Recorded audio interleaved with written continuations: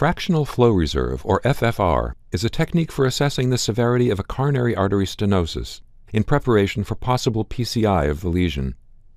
FFR uses a pressure wire passed across the stenotic lesion and measures the mean pressure both proximal and distal to the stenosis during the entire cardiac cycle. As part of the procedure, the vasodilator adenosine is administered.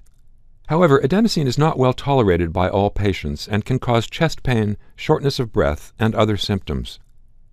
The instantaneous wave free ratio, or IFR, is a technique for assessing stenosis severity that does not require the use of adenosine. IFR is calculated during only one part of the cardiac cycle, in mid to late diastole. Two new trials, the IFR SWEDEHEART study and the Define FLAIR study, compare the efficacy and safety of IFR and FFR guided coronary revascularization. The IFR SWEDEHEART study, which was open label, randomized 2,037 patients with stable angina or acute coronary syndrome. The Define FLAIR study was a blinded trial that randomized 2,492 patients with coronary artery disease. In both trials, any artery with an angiographic stenosis of intermediate severity was evaluated for possible revascularization. Study investigators in both trials hypothesized that IFR would be non inferior to FFR with respect to the primary endpoint, which was a composite of all cause mortality, non fatal myocardial infarction, and unplanned revascularization at one year.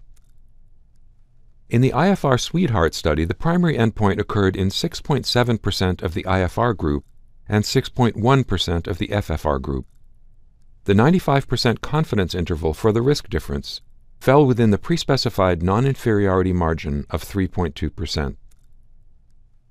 In the Define FLAIR study, the primary endpoint occurred in 6.8% of the IFR group and 7.0% of the FFR group, and the 95% confidence interval for the risk difference fell within the pre-specified non-inferiority margin of 3.4%.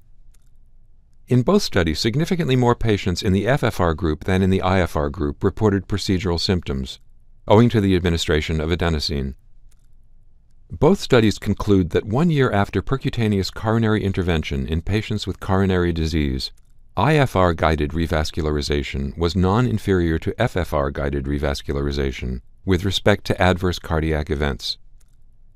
Full trial results are available at nejm.org.